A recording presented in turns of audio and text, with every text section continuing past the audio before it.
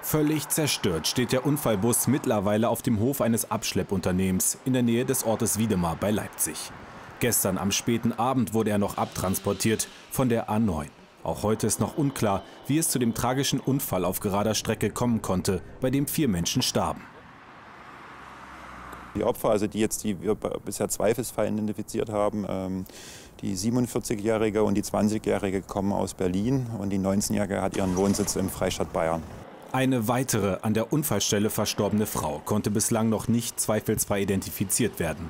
Aber wieso kam es überhaupt zu dem Unfall, bei dem wohl kein weiteres Fahrzeug involviert war? Seit heute ermittelt die Staatsanwaltschaft. Im Fokus der Ermittler vor allem der Fahrer des Flixbuses. Wir ermitteln wegen des Verkehrsunfalls in Verbindung mit einer fahrlässigen Tötung gegen den 62-jährigen Busfahrer. Der Unfallbus, der morgens in Berlin startete, gehört dem Unternehmen Umbrella mit Sitz unter anderem in Prag, Hamburg und Berlin. Denn die Firma Flixbus hat gar keine eigenen Reisebusse, sondern lässt fahren. In Deutschland übernehmen etwa 40 Buspartner den operativen Betrieb. Einer von ihnen Umbrella. Hier auf einem Betriebshof in Mariendorf stehen ihre Busse. Wir telefonieren mit dem Unternehmen, wollen mehr wissen über die gestrige Fahrt, werden aber nur an Flixbus verwiesen, den Auftraggeber. Dort bekommen wir folgende Auskunft. Bei dem gestern verunfallten Bus handelt es sich um einen Bus unseres Buspartners Umbrella. Flix blickt auf eine langjährige und enge Zusammenarbeit mit Umbrella, Coach und Buses zurück.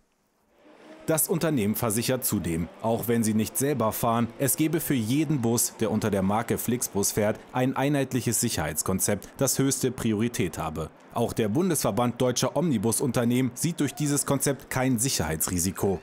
Klar ist allerdings auch, Erst beim Einstieg wissen die Fahrgäste wirklich, mit welchem Unternehmen sie am Ende auch fahren.